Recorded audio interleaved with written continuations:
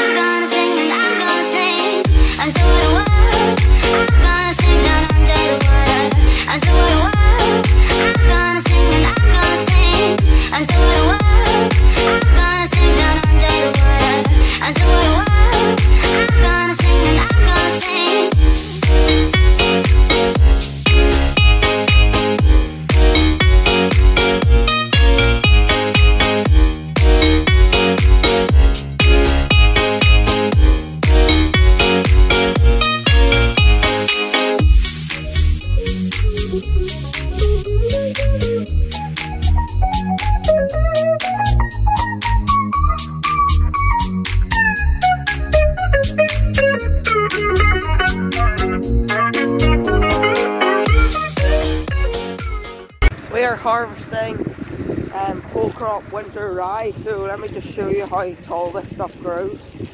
So I I don't know what height I am, maybe 160 centimeters, I'm not sure. But yeah, it's nearly up to my height. It's pretty tall stuff. Um, but yeah, we're smashing it. We've got only, you can see, we don't have too many um, runs around it left. Uh, we've probably about two trailer loads each for the three carting tractors and trailers. Um, but yeah, we're getting on good with it. No breakdown, which is good. It's very rarely that you'll ever see the Massey with the um, wagon actually carting something. It's usually lifting grass. So this here is the ear of the rye plant and on the ear of the rye plant on the ear of the rye plant there are little grains. And if you squish them and they're cheesy in the middle that means that you know when to harvest them. And if they're not cheesy then you won't harvest it. So that so yeah. So the field is now finished.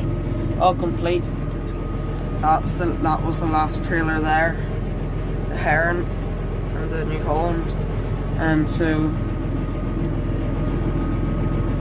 yep, we're finished. So the whole crop header that is on the um, forage harvester, we need to take it off because obviously it's too wide for the road. So there's a trailer behind that hedge we'll just put it onto, and then that'll be it all finished.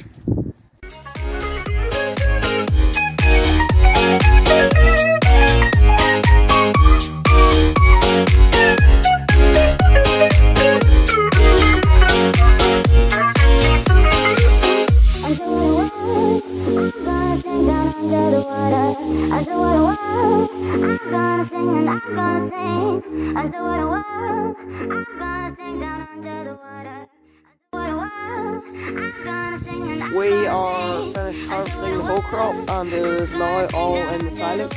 We've gone about a bit, one round bale and a half high, um, which is quite high, and we've gone all the way back to the back of our, nearly the back of our clamp. Um, but yeah, we've got quite a bit in here, um, reminding us still that we have got third cut and fourth cut that we're to do this year.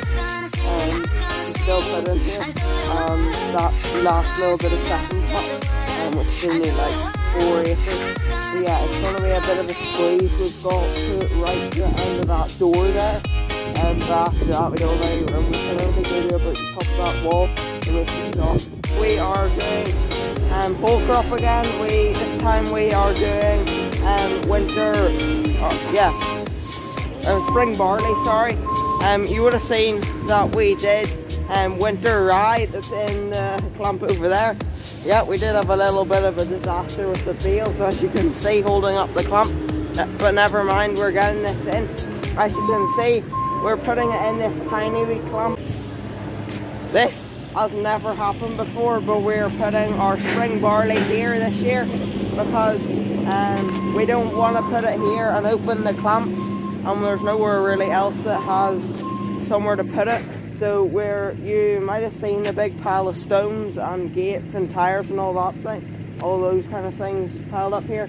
Well, we've moved those. We've made a bit of a wall at the back here to um, lean it against, and then we've also remember where the water was over there, uh, where it used to always pile up. We leveled that out, so it's nice, um, so it won't flood there anymore. But yeah, we're getting getting on good. I'm not sure how much we have left. This is our only field of spring barley this year and as you can see it's got hit by quite badly by the wind. I was talking about the the wind and the rain um, a few weeks ago knocked it a lot of it down. I would say at least three quarters of it was knocked down by the wind which isn't great but it seems to be picking up it up okay and some bits are still standing, which is good. And this will probably be the last trailer load, um, so I'm just out in time. But yeah, that's pretty much, this is the only field we're doing.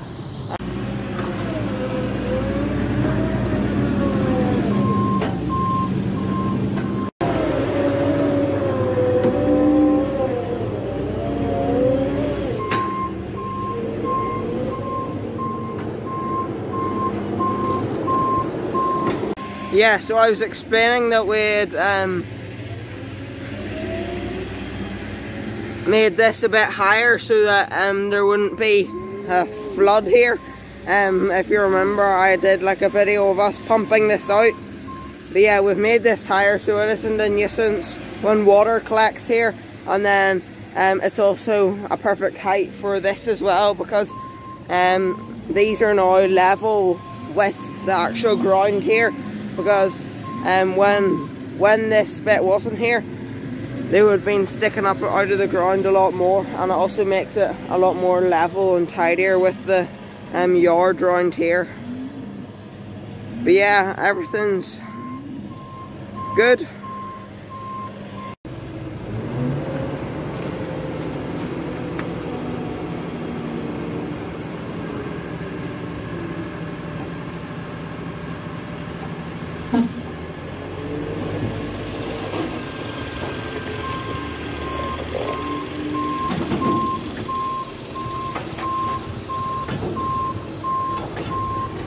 Thanks everybody for watching today's video. I hope you enjoyed and I will see you in the next one. Bye.